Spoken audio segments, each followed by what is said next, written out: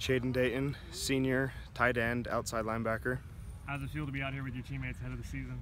Feels way good, man. It just love being out here with everybody and all my buddies, and it's a good time. What have you guys been focused on this offseason?